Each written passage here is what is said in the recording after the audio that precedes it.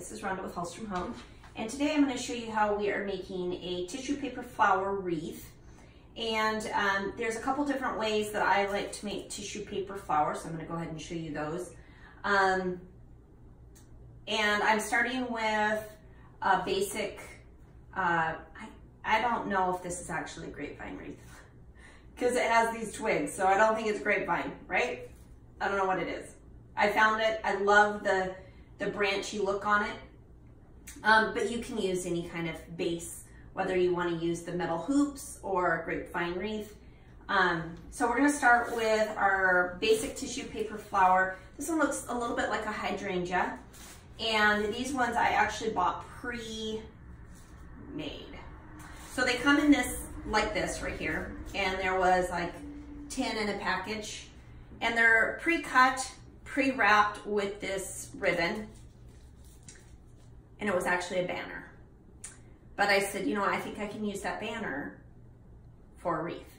So I went ahead and um, when you start your paper tissue flower, you're just gonna open it up like this. And you do have to be a little bit gentle because these tissues are so soft and easy to rip. So I'm just gently pulling them apart one layer at a time. Now this one has two layers, so I'm gonna just gonna come in here and see how it starts to get that little scrunchy look here. And we're just gonna do that with every layer. So there starts our tissue paper flower. What's really nice on this one, because it comes with a little bit longer string, I'm gonna go ahead and attach these ones to my wreath without any glue. I'm just gonna take them and find a spot and tie them to my wreath. So I've already done that with these two and I've also put in a couple faux pieces of greenery just to add a little bit of color. Um, I'm going with kind of a neutral soft base or look here. Um, okay, so this little tissue paper flower, I have a tutorial on how to make this and I'll just briefly go over it with you um, when I was on my flight back from Magnolia Market meeting Chip and Joanna, they had a paper tissue flower wall, and um, it's right now one of my most popular pins on Pinterest.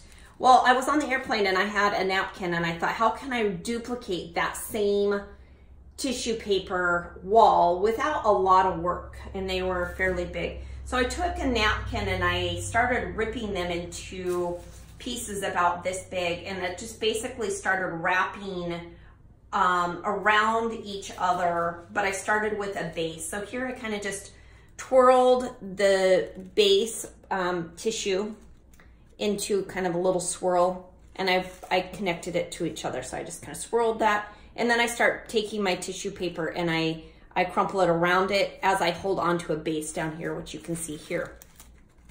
And uh, again, I have a full tutorial on that on my blog, but uh, I just went ahead and tied it off with string and it's all on there fairly good. You know, it depends on maybe what you're using this for, but I wouldn't worry about putting this on a wall or, I mean, it, it, it'll last. It, it's pretty good. So then um, now that I have my string here, I can go ahead and put it on my wreath wherever I want it. But right now I'm going to attach um, this white one.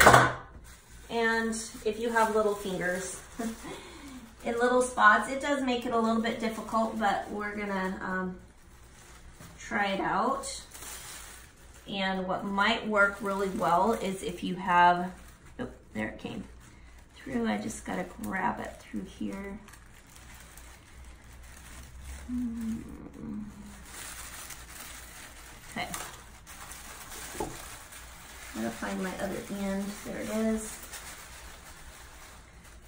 One thing I will say when you're doing this, um, I'm not, when I make my wreaths, I'm not going for matchy-patchy or like real perfectionism where everything is symmetrical and right in the perfect spot. I just think that you can overthink it and then it's like for me it wouldn't be super fun. So um, I try to keep my projects as fun as possible. So I think maybe we will do So if that one's on the inside, I think I might want one here. And then I think I'm gonna put one here.